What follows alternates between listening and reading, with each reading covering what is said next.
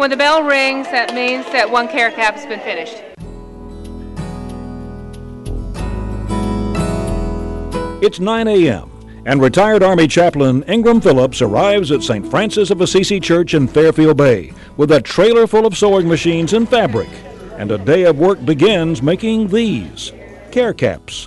My sister had cancer, and, and I was making uh, caps for her, and that I'd make a couple of extra when she go to chemotherapy. And so uh, they went with her to chemo and were given away. And then she went down to MD Anderson, and so I made more. And some of these lovely ladies uh, said that they would help me uh, to sew, and so that's how we, how we got started. Mary says she didn't choose the Care Cap Connection project, it chose her. I've never seen a, any kind of a project that grew as fast as this project has and just multiplied. Mary has organized 13 Care Cap groups, including one in Louisiana, two in San Antonio, Texas, one in San Francisco, and in Arkansas at Fairfield Bay, Greenbrier, Mountain Home, Heber Springs, Little Rock Air Force Base, and the Pine Bluff Women's Unit of the Department of Community Corrections.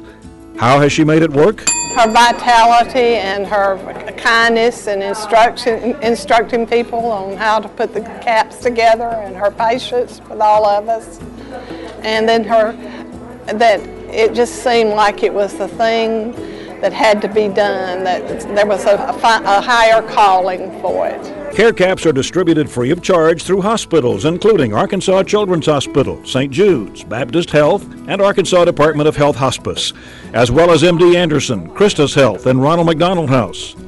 One of the volunteers is a cancer patient herself and moved to Fairfield Bay from the Mississippi Gulf Coast after Katrina devastated the area. It was so nice when we came up here and I saw what the people were doing with the care caps. I would have loved to have had some at the beginning because it was really it was really hard not to be able to to really go out in public and feel comfortable. Mary and her volunteers have made life more comfortable for about 1,500 patients, with thousands more yet to be served. It's an ongoing project. It just it just grows and grows.